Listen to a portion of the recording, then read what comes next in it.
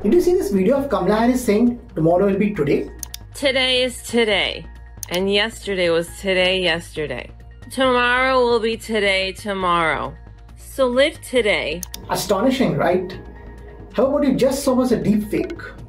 Boom found that the viral video is a deep fake created by synthesizing Kamala Harris's voice and doctoring her lip movements in the video to match the fake audio. We checked the Facebook Live of Kamala Harris's speech given at an abortion rights event at Howard University and found she made no such statement that can be heard in the viral video. Further to this, deepfake researcher Dr. Dominic Lees confirmed to Boom that this video has been digitally altered. To read the full story, check out our fact check section on boomlive.in.